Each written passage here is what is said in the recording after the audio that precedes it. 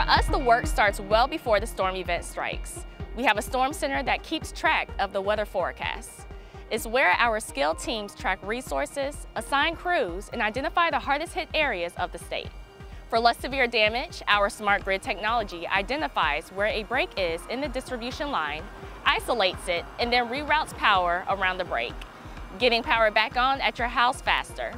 In these uncertain times, we know having clean, safe, reliable, and affordable energy is more important now than ever.